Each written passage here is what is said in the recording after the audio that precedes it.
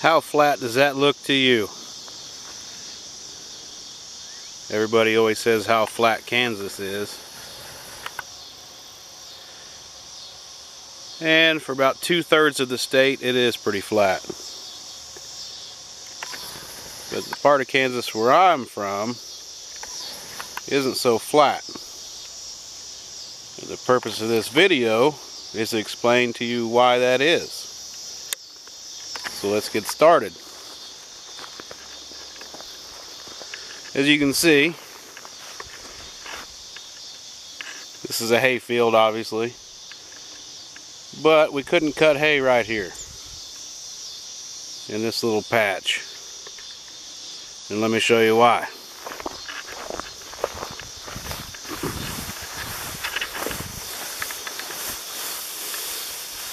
See that? Hopefully the sun's not too horrible. That rock is larger than I am. I wish I had something to compare it to. I forgot my tripod, so you guys have to bear with me. But, I mean, I can't even do it that way. It's huge.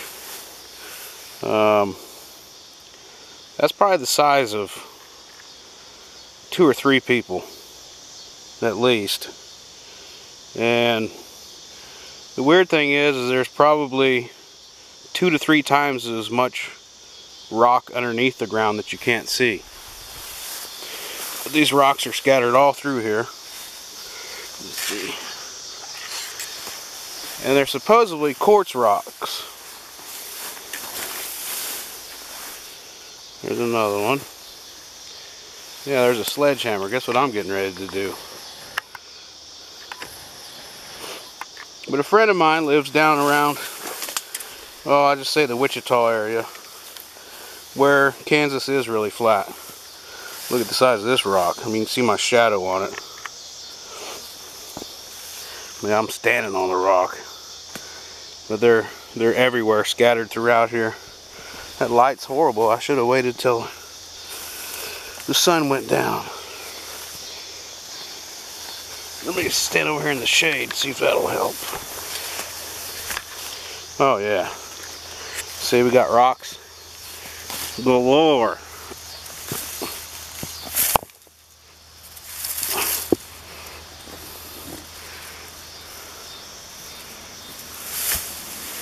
Now these rocks are not native of Kansas. These rocks came from Canada. And like I said, they're strewn all out through here. And in my part of Kansas, it's real hilly. And we have a lot of rocks just like this just coming up out of the ground. They're a nuisance for us. But uh, my buddy Travis uh, survived without complains that he has no rocks in his part of Kansas.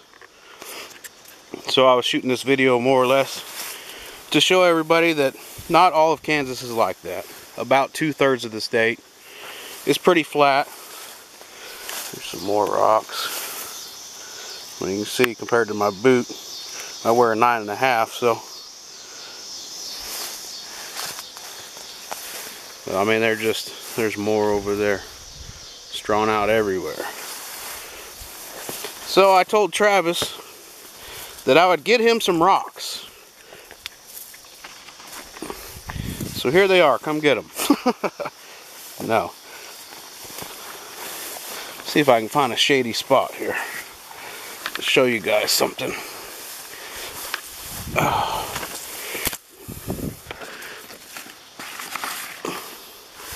Alright, I printed off uh, some maps off the internet and uh, bear with me. As you can see, this is the United States and Canada. Now what this map represents is the glaciers that came down, oh, like 10,000 years ago or something.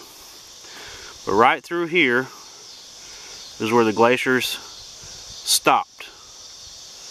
Okay?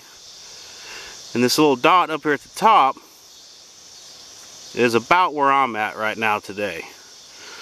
Up around Holton, Kansas is where I'm at today. And this other little dot is about where Wichita, Kansas is. So, in the uh, the Flint Hills of Kansas are right about at the edge of where this glacier line is. That's because the glaciers pushed all the dirt and the rock up and formed all those hills. But they stopped there. So the rest of Kansas in this brown area is pretty flat. And that's why. I got another drawing here. A little bit a little closer up. Now, here's Kansas-Nebraska border. Kansas comes along. You got our little corner there and come down. There's Topeka, which is about where I live. I'm just south of Topeka. This dot here, I stuck in there to represent where I'm at today. And that's where all the rocks are at that you're seeing. Now if we go a little west over here, uh, there's another place, town called Onaga. It's a little bitty town. But they have boulders and rocks the size of pickup trucks sticking up out of the ground. Wamego, I've seen uh, there's a place that Wamego has that this that looks like somebody just scattered these uh, oh boulders probably 12 inch boulders out across the ground just laying loose. And it looks like somebody laid them there but that that's not how they came to be. They uh, they came from the glaciers. So hopefully I'm no teacher by any means guys but uh, hopefully this will help you some. I mean look at the size of that rock. I really wish I'd have brought my tripod so I could sit on one so you can see how big they are. But all through this wooded area right here is supposed to be a hay field but it can't be hayed because of all these rocks throughout here. And uh, we call them Canadian rocks. But supposedly what I've been reading is they're quartz oh goodness and quartz is supposed to make a good striker for a flint and steel. So, when my buddy Travis comes up, I'm going to send him home with some quartz. Like I said I would. See if I can get in here in the shade so you can see it.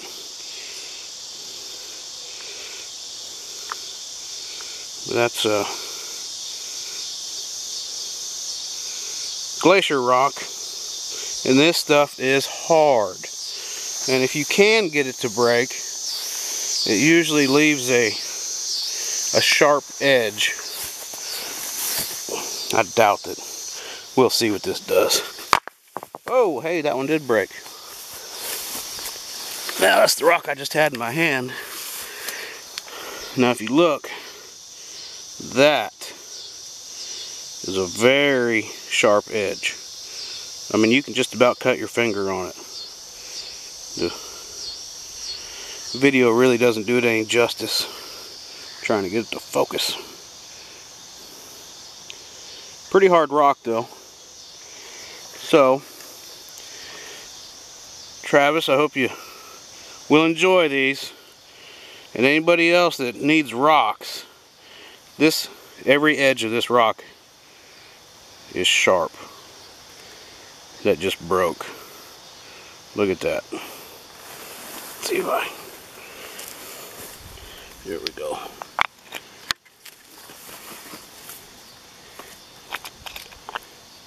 Yeah. Every edge is sharp. It's pretty hard rock. So, I'll load some up in the pickup. Oh, it breaks easier than I thought it would. But I don't think I'd want to make a job out of it. Whoop.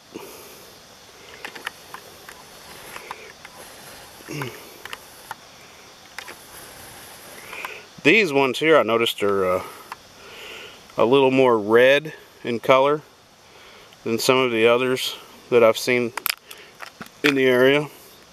Maybe that's why they're so brittle. Most of the ones that we have are more of a, a gray, which these may not have as much quartz in them. Or maybe it's got too much, I don't know. I'm no geologist by any means.